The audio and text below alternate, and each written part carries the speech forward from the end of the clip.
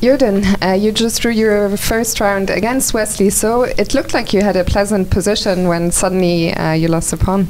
Yeah, I just blundered this knight f4 completely. I mean, immediately when I made my move, I saw it, but it, it's always it's always like that. So after that, it was an uphill battle. Actually, I was kind of fortunate not to lose on the spot, so I, I kind of tried to look at the positive side of things. But of course, it was uh, definitely a bit of a bummer. I mean, I shouldn't ever get into trouble from this position, but I did. How do you uh, regroup uh, mentally when you make your move and you immediately see this knight f4 coming? Uh, what goes through your mind and how do you stay focused? Yeah, it was hard. I mean, it helped that I kind of realized that I can still fight on. Sometimes when you make a move like that, it's just immediately game over. So um, I guess I was trying to look at the positive side of things, but um, it really was a very difficult position after that for me. So, I mean, I was just trying to fight, but of course not very optimistic.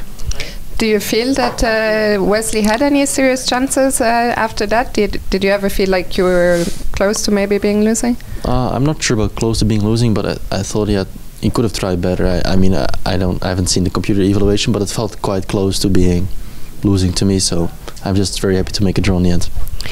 Jorden, in the last two years, there were no fans here, no amateur players. Um, to you, especially as a Dutch player in the tournament, what does it mean to have everyone back? Yeah, it was fantastic. I mean, already on the fir first day, it was a full house of spectators. Didn't expect that.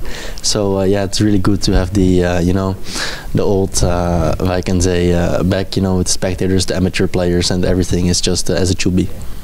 I imagine this tournament is a special one to you. Yeah, no, for sure. I think it's my 11th time here, so always super happy to be here. I mean, it's uh, it's it feels like a second home. Fantastic, Jorden. Um, well, thank you for your time and best of luck for tomorrow. Thank you so much.